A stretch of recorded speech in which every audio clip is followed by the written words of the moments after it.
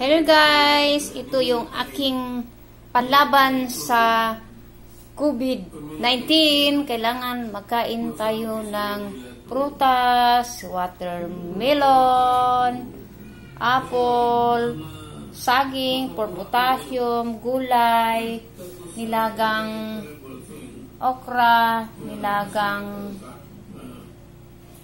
ampalaya dahon, uh, saluyot, at saka kamuting dahon. Yan.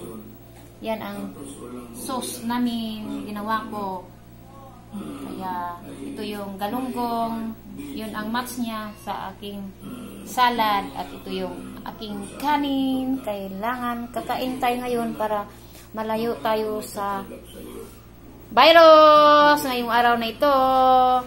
Sana nagustuhan nyo aking sinishare na pagkain ngayon sa aming tahanan. Kaya salamat naman sa Panginoon at binigyan kami ng pagkain. Kailangan magiging masipag din tayo, gigising tayo ng maaga at magpalingki para hindi tayo ay magugutuman. Ito ay pagkain namin hanggang hapon na. Kaya bukas naman ako magpalingki. Ayun, ito ang food processing kong ginawa ngayon. Thank you God. Thank you sa pagkain nito. God bless all the time at bigyan mo kami ng lakas at biyaya sa araw-araw. Salamat sa food nito, Lord. Thank you.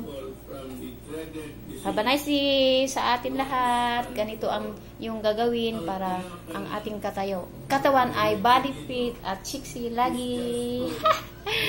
Sinisir ko lang ito guys kasi uh, boring ngayon kasi quarantine, kailangan gagawa natin lang paraan para magiging malibang naman tayo. Idaan na lang natin sa mga pod. okay, thanks for watching my video. Thank you guys. Bye. Ako si Jane Aquino.